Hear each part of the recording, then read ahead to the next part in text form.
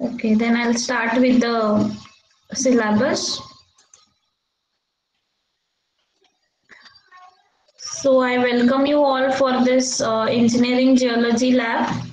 Okay.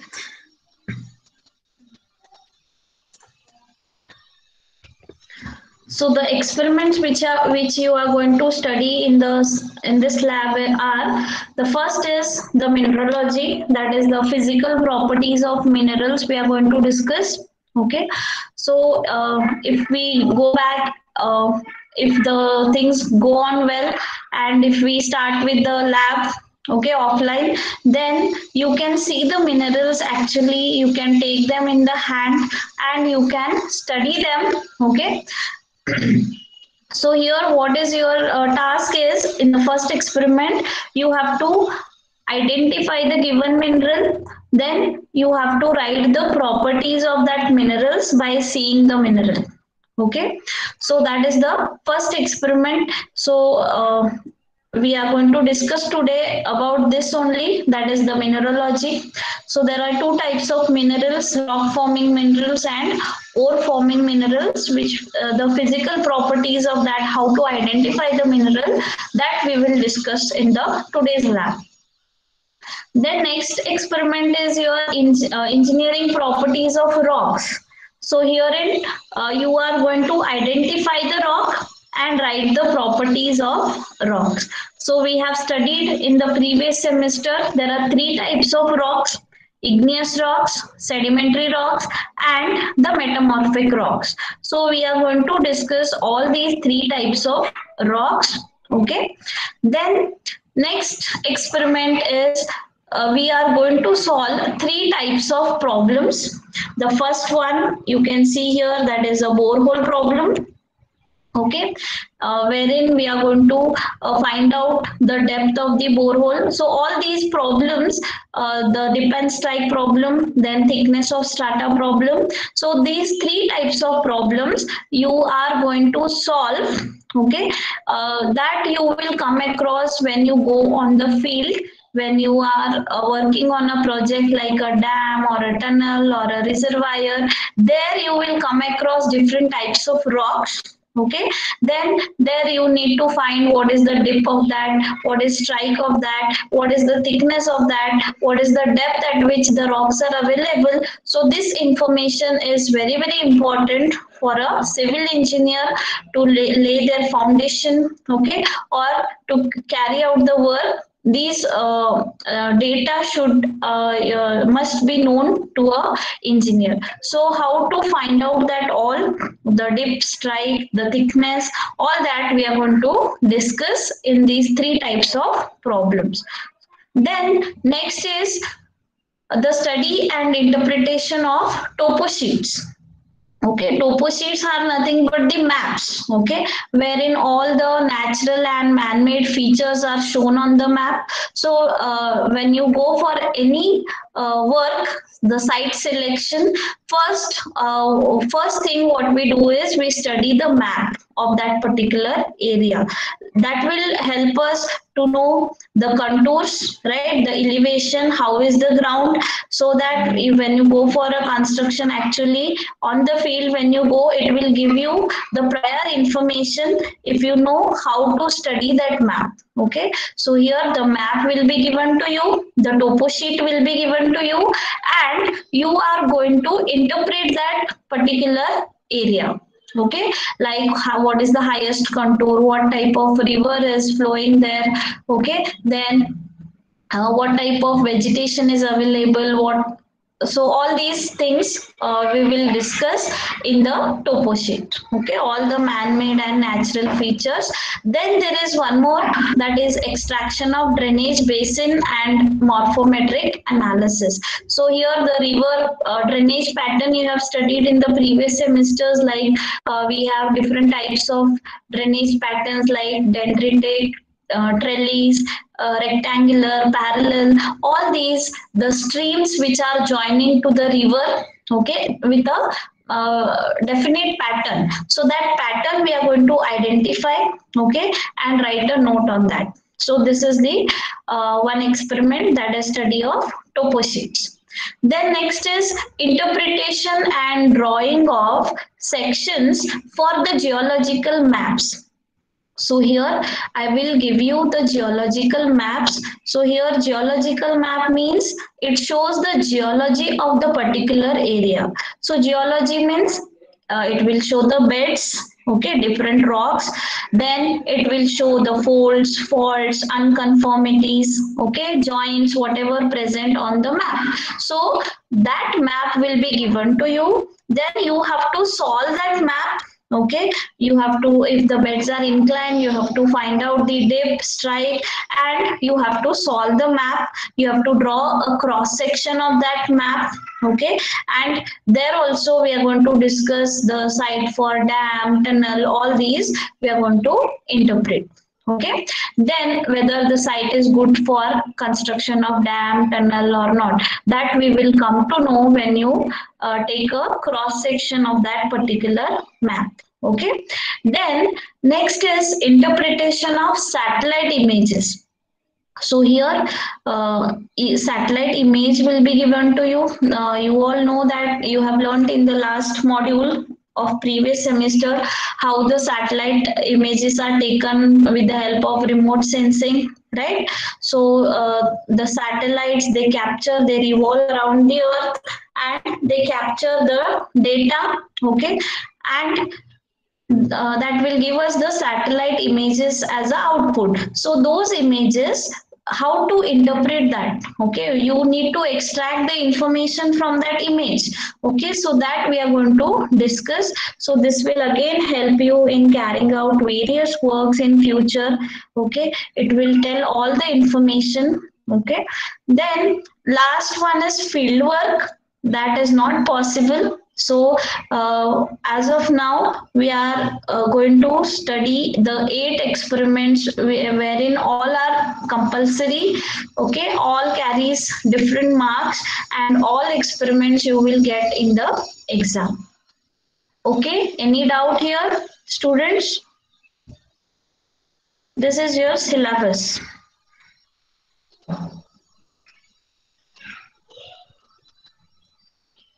Hello. Hello. Yes, ma'am. Yes. Any doubt? So that is your syllabus, what all experiments we are going to solve. So I'll start with the first experiment today, that is minerals. We will discuss how to identify the minerals okay. So why first uh, uh, let me clear why we are studying the minerals first. Any idea? You all know the definition of a rock. Rock is what? The aggregate of minerals. So different minerals are present in the rock right? So as a civil engineer the rocks are very important for you. You will use the rocks for different purposes during your construction okay? So like uh, if you construct a building or a dam or a tunnel any structure you take the rocks will play a major role okay? And uh, uh, when you go for site selection for dam tunnel or roads okay these rocks are available on the ground. So you must know the rocks, the properties of rocks. So to know the properties of rocks, the very important is to know what mineral it contains. Okay, so uh, we are going to discuss the minerals first. Then we will go for the rocks, which are very, very important as a civil engineer. So let me define what is a mineral. So minerals all the minerals are naturally occurring so you can see so beautifully they form in the nature. So when the magma uh, it cools okay at different temperature different pressure conditions different different minerals will form while cooling the magma okay. So uh, these are all the different minerals with different colors okay different shape size okay they look like flower also natural flowers okay so you can see it is a mineral which looks like a rose okay So this is a gold, then varieties of quartz and zeolite minerals. So this is a amethyst mineral, which is a variety of quartz. Okay, so it occurs in purple color in the cavity. You can see there is all those are uh, seen in the cavity. Okay, so like this, there are over more than 5,000 minerals are known today in the world. Okay? Out of that we are going to discuss hardly 20 minerals which are of engineering importance. Okay? That we are going to discuss. So this is the world of mineral. Okay so we'll come to uh, the definition of mineral. So the branch which studies the minerals is called as the mineralogy. So mineralogy is the study of the chemistry, the atomic structure, physical properties and the genesis of the minerals. That is called as the mineralogy. So it is a branch of geology which deals with study of minerals. So what is a mineral we'll discuss. A mineral is an inorganic uh, naturally occurring substance which has a definite atomic structure and a definite chemical composition. So that is the definition of a mineral. So mineral is what? It is a naturally occurring, we all know, and it is um, inorganic in nature. It is not made up of any organisms. So it is a inorganic in nature okay and each mineral will have a definite atomic structure and a definite chemical composition so that uh, forms a mineral so uh, this is the elemental abundance in the crust okay so the maximum abundant uh, element in the earth's crust is oxygen then comes the silicon then aluminium, iron, calcium, sodium, potassium and magnesium. So this is just the elemental abundance. Then there are different mineral groups based on the uh, properties. Okay, they, they are divided into different groups. Okay, so maximum here you can see there are the feldspar minerals. Okay, feldspar group that is plagioclase feldspar and potassium feldspar. That makes the maximum uh, percentage of mineral that comes under the rock forming mineral. Feldspar is present in uh, granite. Okay, so this is the maximum portion uh, that is availability of minerals. So plagioclase feldspar feldspar group is more in abundance then comes the quartz then pyroxenes okay then amphiboles then mica clay and there are other silicate minerals which are hardly 3% okay? And there are non-silicate minerals like oxides carbonates sulfides and native elements. They comprise 8% so these are this is all how the minerals are grouped into different uh, groups mineral groups okay? So then there is one word called native. Okay? Native mineral means what? The minerals which occur in their pure form pure state. Like example is gold silver copper platinum. Okay? All these are costly also right? We all know the rates are uh, increasing day by day right? So why it is so? Because they are very rare okay they occur very rarely. Their their occurrence is less okay? Uh, so gold silver copper platinum even diamond then they occur in their pure form okay? There are no impurities mixed along with them. So they are called as native minerals. Then there are compound minerals they form uh, with combining with the more than one element. So those are called as compound minerals. So those in, includes silicates, oxides, sulfides and carbonates. So like for example, calcium carbonate means here calcium is also present, carbonate is also present. So like this, there are impurities also present. So those are called as compound minerals.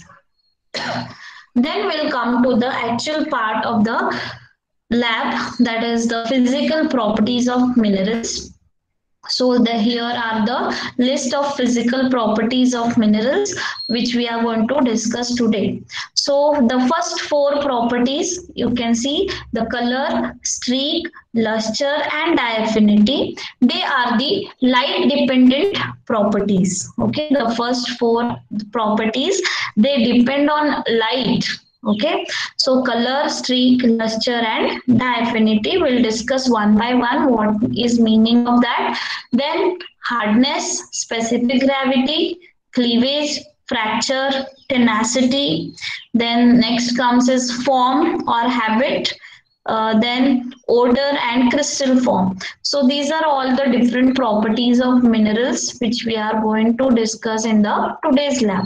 So once you know these meaning of these properties, you will uh, find those properties, you will search those properties in the uh, specimen which is given to you okay so to identify that property whether the mineral is showing or not you must know first uh, the meaning of all those uh, words which we are going to use okay? So we'll see the first property that is a color.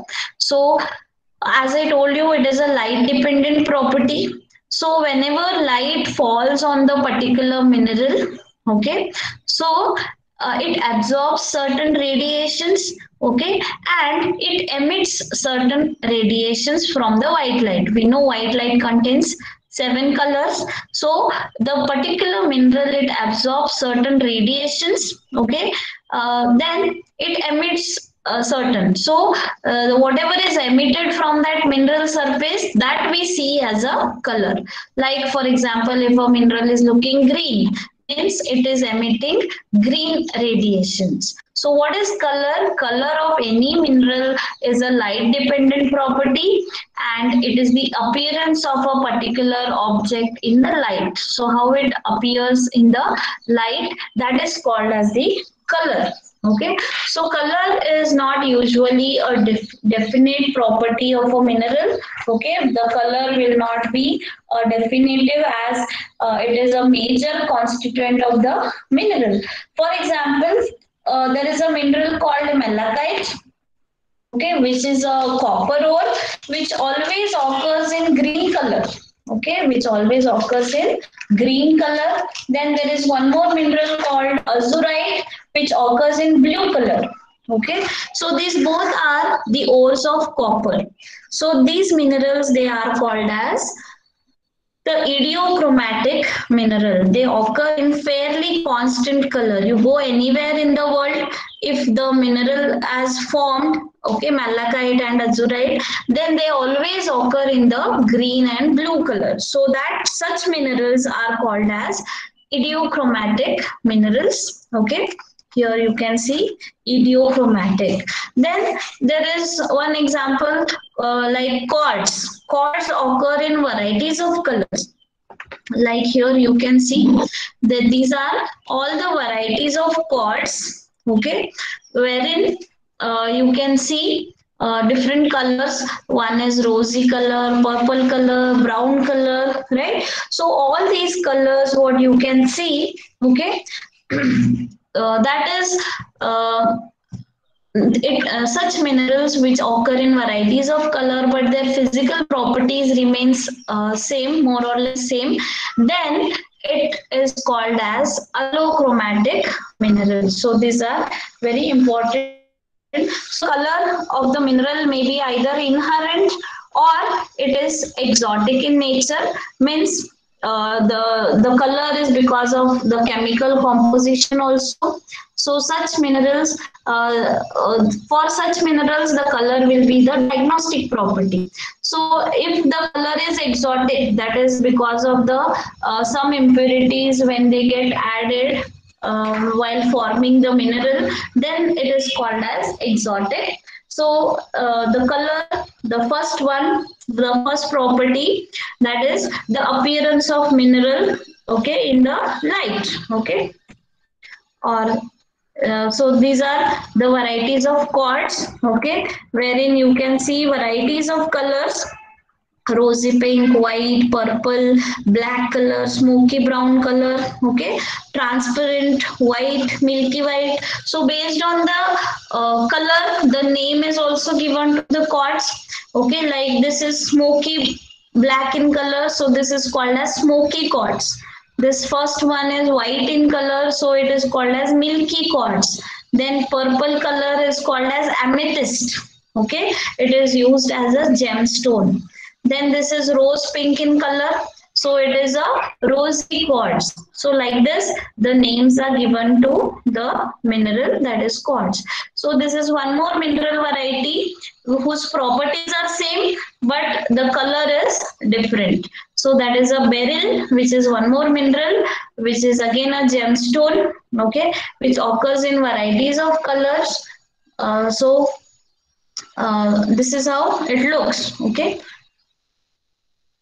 So such minerals are called as allochromatic minerals. They have same physical property, but they have different colors. Okay. Then there is one more property called luminescence. So some minerals, what happens? Uh, they glow, they start glowing when they are kept under ultraviolet radiations or ultraviolet light.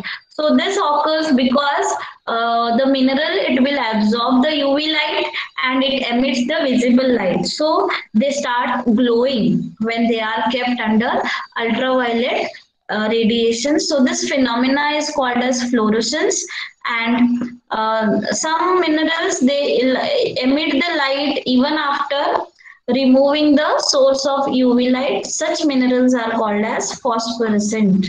So here is the example fluorite. Okay, so uh, that is fluorescing. That is, uh, it is glowing when it is kept under UV light.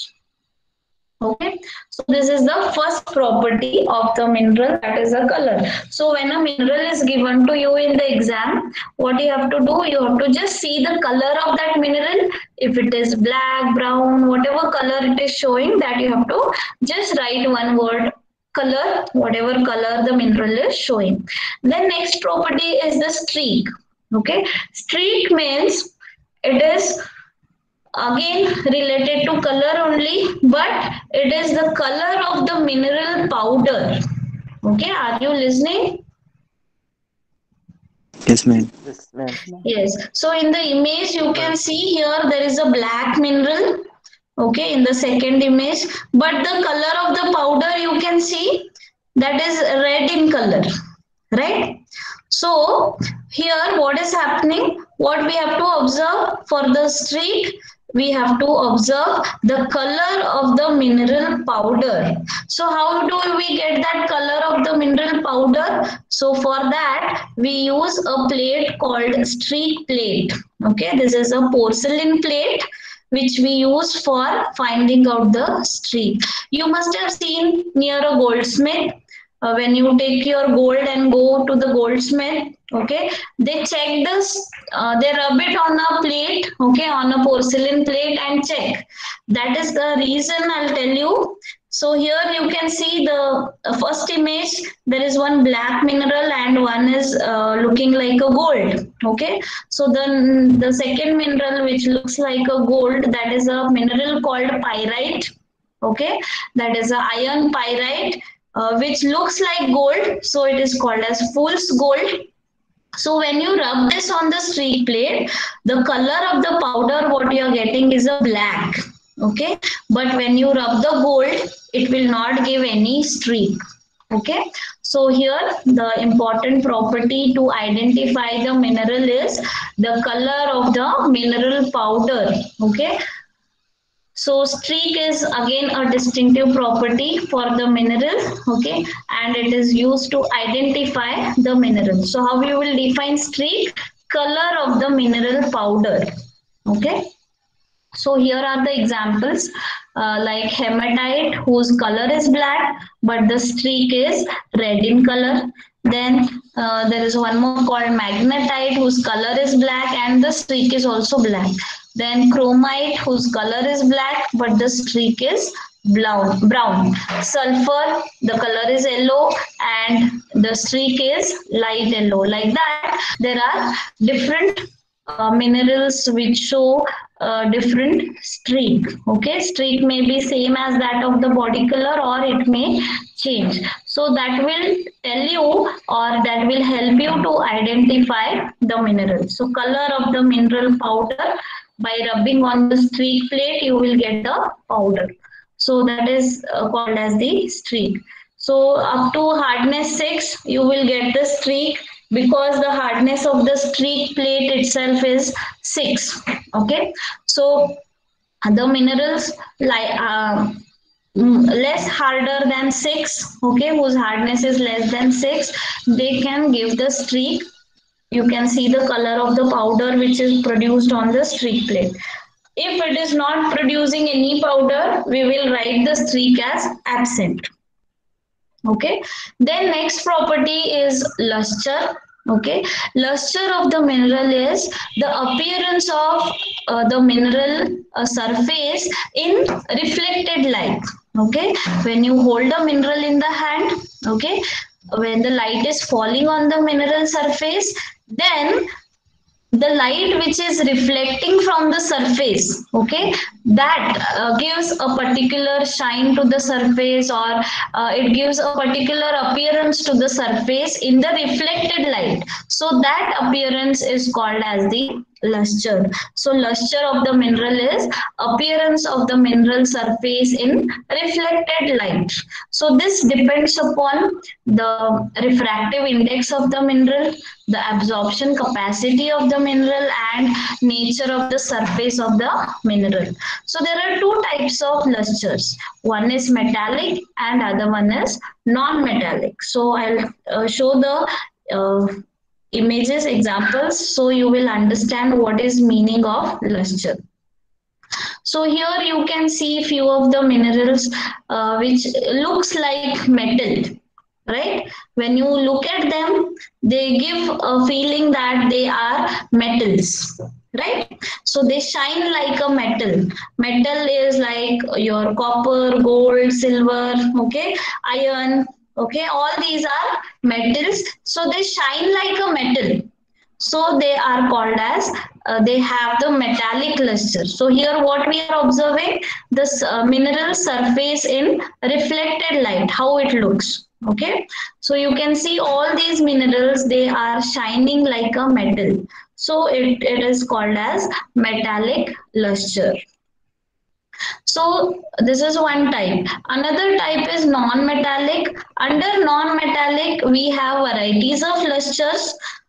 Uh, like it is uh, uh, ranging from a very brilliant luster as that of the diamond you can see the diamond they shine very uh, they have a very brilliant shine so such uh, luster is called as adamantine adamantine we use for diamond. If the mineral is shining like a diamond we use the word as adamantine.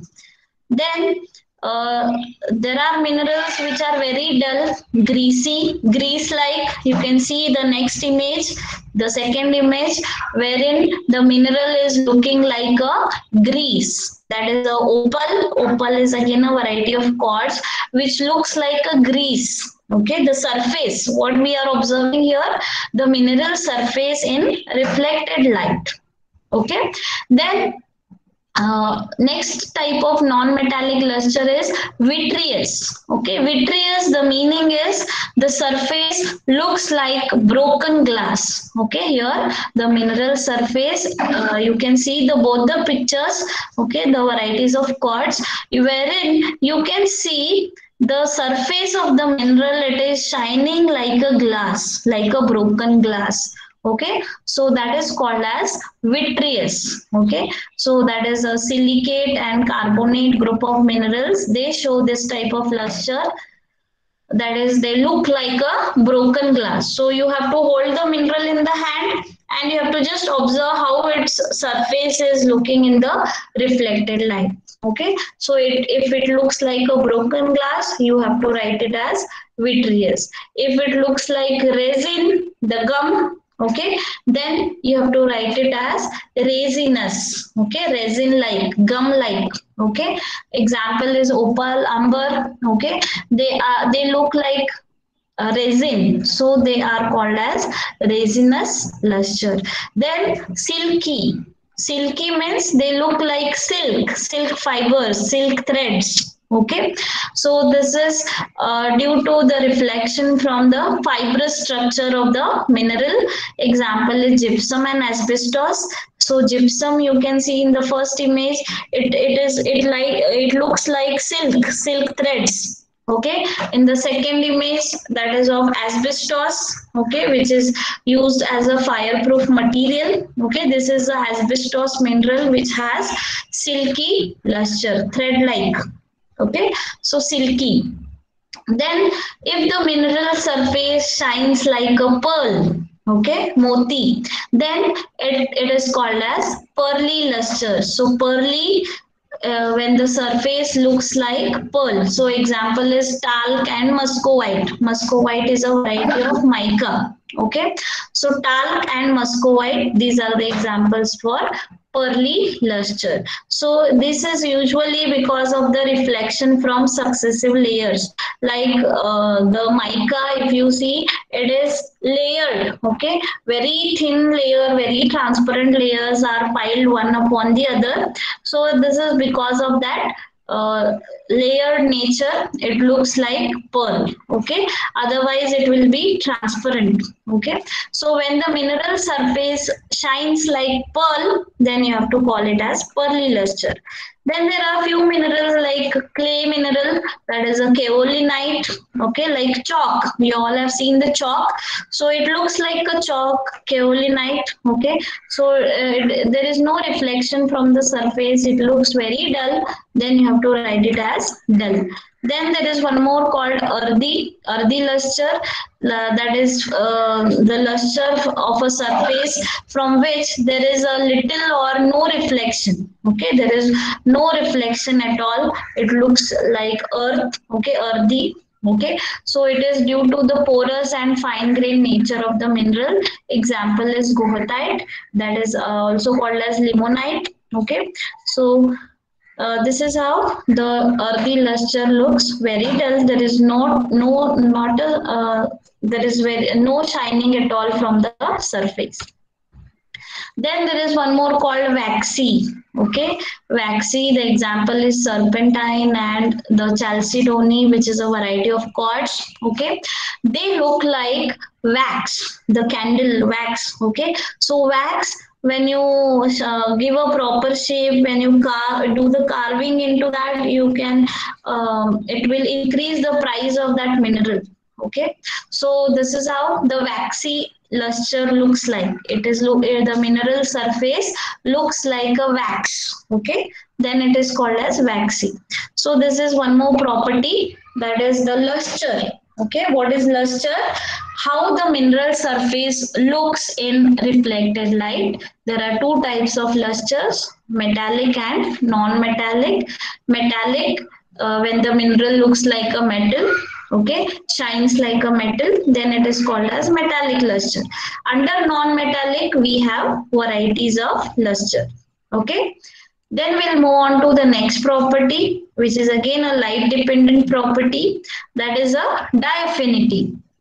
So what is diaphaneity? You, in simple words, you can say it as degree of transparency.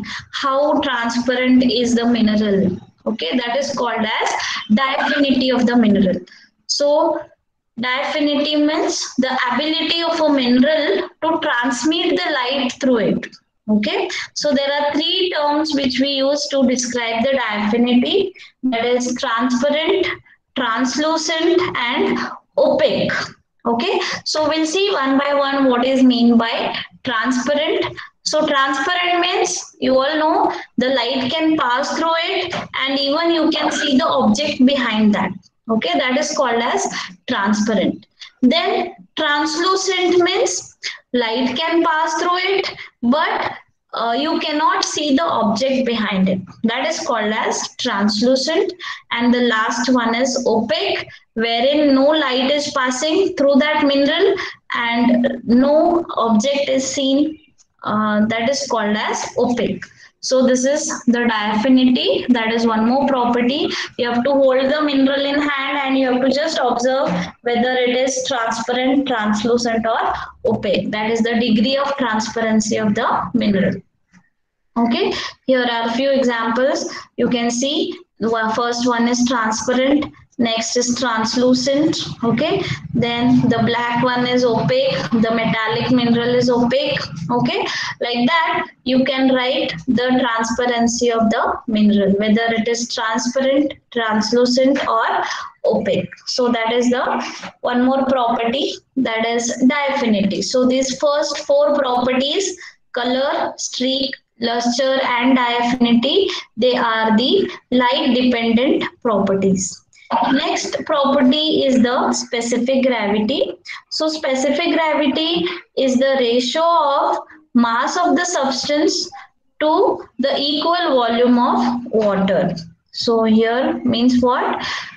The weight of the mineral in air okay to the equal volume of water that is called as the specific gravity so uh, suppose uh, if I say the quartz, the specific gravity of quartz is 2.6 means what? It is 2.6 times heavier than water. Okay, that is the meaning of the specific gravity. So in the previous semester, you have uh, done the experiment to find out the specific gravity of aggregates. Do you remember? Hello? yes, Specific gravity of aggregates you have found out using what equipment? Pycnometer. yes. So you had used pycnometer to find out the specific gravity of the aggregates. Now, to find out the specific gravity of the mineral, we have different instruments like one is Walker steel yard balance and one is Jolly spring balance. So here I'll explain only one. Okay, that is Walker steel yard balance. Uh, this experiment is not there for you. Just to know how they find out the specific gravity of a mineral, you must know the procedure. So just remember how it is working. So that is Walker steel yard balance. It has a graduated beam. You can see there is a scale like, okay, or a graduated beam, okay, uh, wherein uh, just a minute.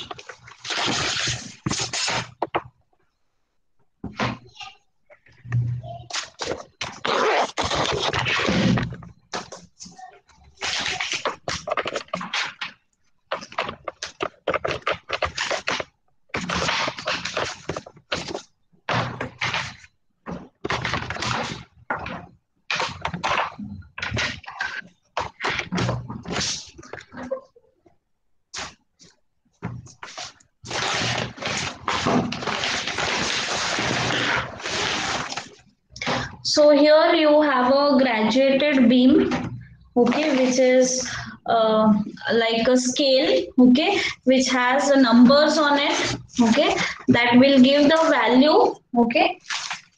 Uh, then at the one end, it will have a counterbalance, okay, that is a weight, heavy weight attached to the at one end of the scale, okay, and at one end it is moving freely. You can see yes here you can see uh, this is the one end okay wherein it is um, uh, freely moving okay? And at the other end here you can see there is a heavy weight which is attached to the scale. Then first what we have to do? We have to take a mineral okay? This is a piece of mineral. We have to tie it to the string with the help of a uh, clip uh, which is given. Then uh, you you have to uh, suspend the mineral on this scale okay then uh, when you put the mineral on the scale or the graduated beam, what happens? It starts oscillating. It starts oscillating. Then uh, once it starts oscillating, what you have to do, you have to adjust this mineral. You have to move this on the scale and you have to adjust this counterbalance also. Till what? Till the beam becomes horizontal you have to do this. So till the beam becomes horizontal you have to just go on moving the mineral on the scale here and there you have to adjust and you have to rotate this balance also counterbalance okay? Then once the beam becomes horizontal you have to note down the reading. Okay? So that is the uh, you can say that is a that is uh, a we will note down as a that is weight of the mineral in air okay? Then we'll take uh, next step is what? We'll take one beaker which is full of water and we'll immerse the same mineral into the water okay? Then once the mineral is immersed in the water it gains the weight right? So again the beam starts oscillating okay? Then what happens uh, you should not disturb this balance now. What you have to do, you have to just adjust the mineral, you have to just move the mineral on the uh, graduated beam, okay, along with the beaker. You have to see that the uh, mineral is completely immersed into the water. So uh, once the beam becomes again horizontal, okay, then you have to note down the second reading. That is, we'll call it as B Okay, so B is what? Weight of the mineral in uh, water. So the formula that is B divided by B minus A. Okay, that will give you the specific gravity of a particular mineral. So this is how the experiment works. That is a Walker steel balance, which will uh, help us to find out the specific gravity of a mineral. Okay, understood? Then uh, these are few examples of specific gravity of a particular mineral. Okay. Uh, yes. Then next property is hardness. Okay. Hardness is what? How harder is the mineral? So how to find out that? What is the hardness? So it is the resistance to scratching and abrasion. How the mineral is resisting to scratching and abrasion that tells us the hardness. So the hardness of a mineral is its resistance to scratching and abrasion. That is called as hardness. So it is again a relative scale. Uh, both these specific gravity and the hardness, they are just the numbers. Okay, they don't have any unit. So minerals with higher number will scratch the mineral below them on the scale. So this is a scale which will uh, determine the specific, uh, sorry, the hardness of a mineral. So the first mineral that is the softest mineral that is a talc okay? Which is whose hardness is 1 okay? Then the next is gypsum then calcite fluorite whose hardness is 4 then apatite then orthoclase quartz topaz corundum and diamond. So this scale wherein we have 10 minerals with the increasing hardness. Okay? So softest mineral is talc and the hardest mineral is the diamond okay? So this scale is called as the Mohs scale of hardness. Are you getting? So Mohs scale of hardness it contains 10 minerals from the increasing number of the hardness. So if you want to find the hardness of an unknown mineral what you can do is you can go on rubbing one by one uh, with the known hardness. So uh, suppose if you are uh, taking a mineral okay uh, whose hardness if you are finding out then first mineral if you take talc and you rub it on it then uh, if it produces powder if talc is getting powdered that means the hardness of this mineral is more than one okay? Like that if you go on taking one by one and at one stage you will come across uh, there is no powder produced. Instead of powder, the noise will produce. okay uh, when you rub the two stones with the same hardness okay what you can hear is the noise okay or the sound so that sound indicates the hardness the both the minerals they have the same hardness so this is how we find out the hardness of an unknown mineral so this is one property that is hardness. That, that is just a number. Okay, what you have to remember the number. So uh, the for example, these minerals which are there in the hardness box, you have to remember it uh, very perfectly. Like calcite, it has hardness three. Okay, quartz hardness is seven. So these harder minerals that is from 7, 8, 9 and 10 that is quartz, topaz, corundum and diamond. They are used as a gemstones. Okay they are used as gemstones because uh, they are very hard.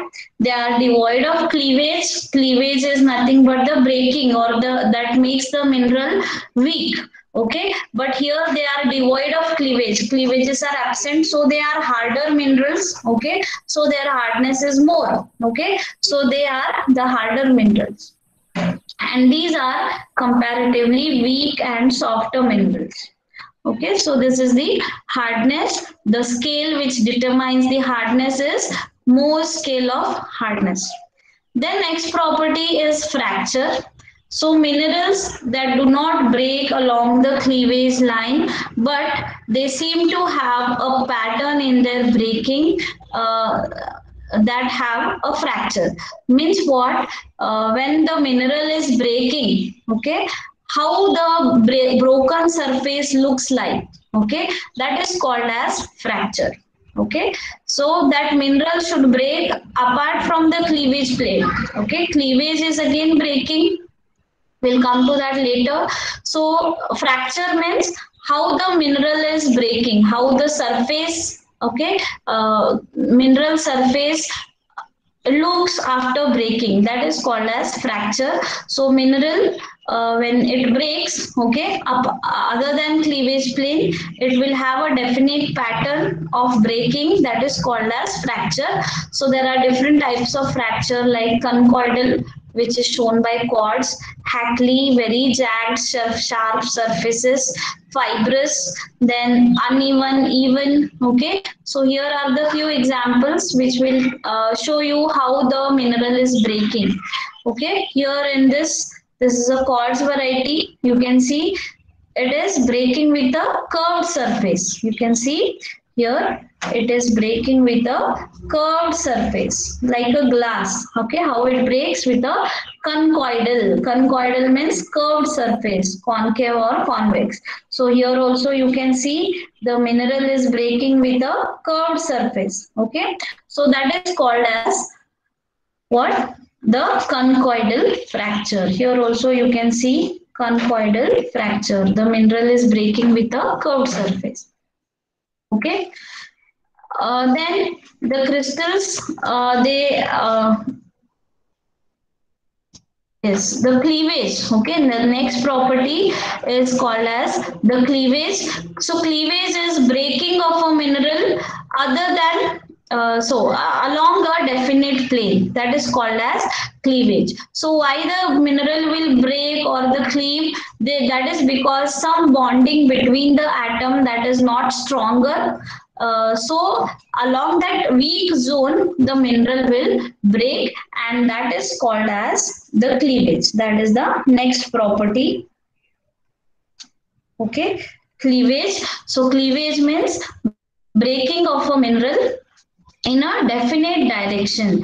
For example, uh, the mica you have seen, it has one set of cleavage. It, it is like your pages of book. Okay, it splits layer by layer. It breaks along that plane.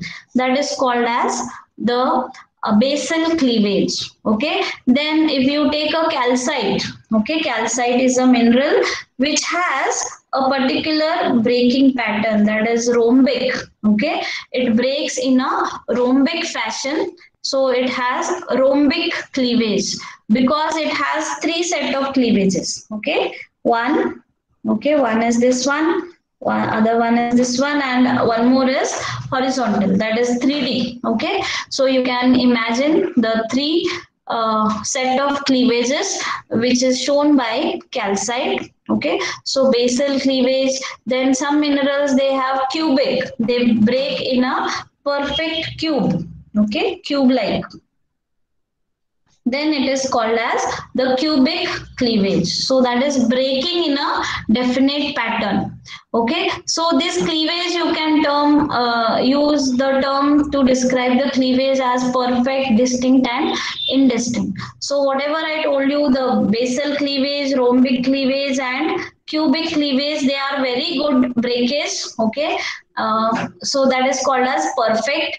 Then there are distinct where you can see the new surface broken by a frequent irregular steps.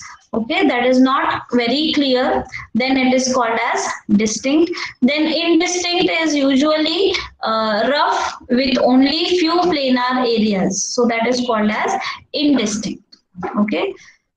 So here you can see the example. Okay cleavage the first one is breaking along this plane okay?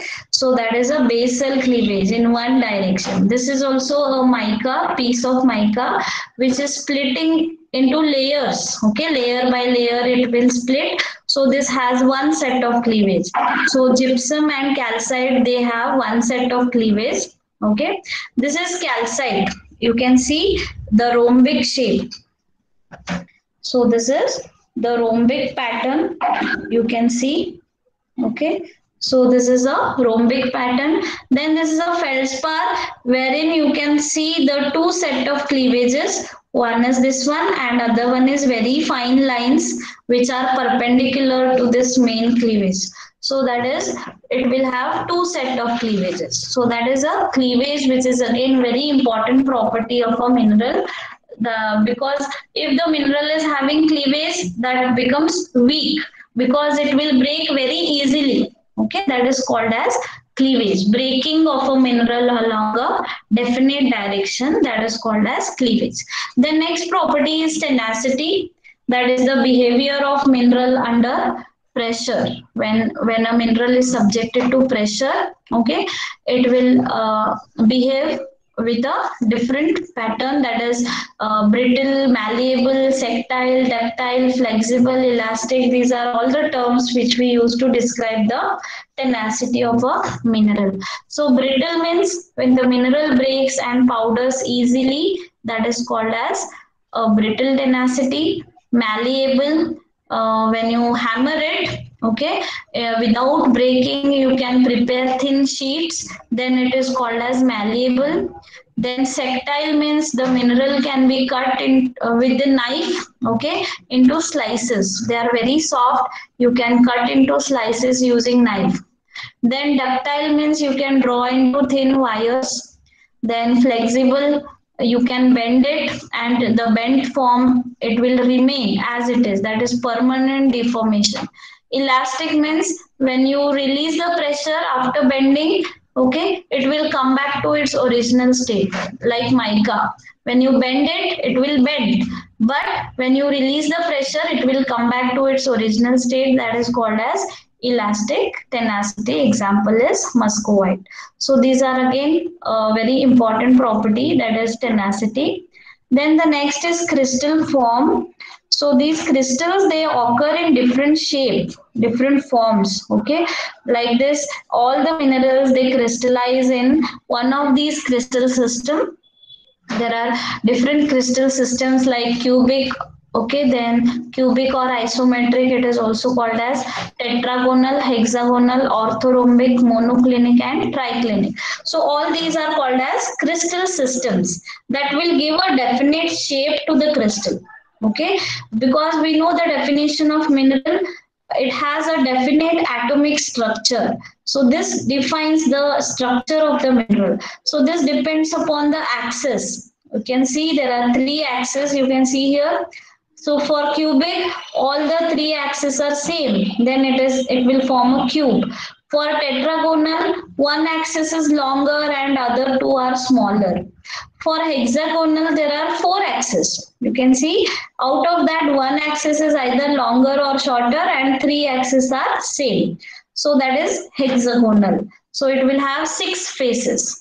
tetragonal will have four faces okay orthorhombic uh, which will have all the um, uh, three axes with different length okay then monoclinic wherein one axis is inclined and other two are horizontal okay? One is inclined. Here triclinic all the three axes will be inclined. So no need to go in depth.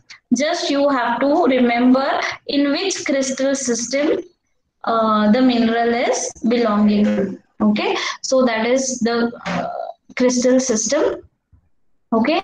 Then the habit and form that is the last property. So mineral occur in different forms okay i'll show you with the pictures. First is acicular which uh, the mineral when it, uh, when it is slender needle like okay?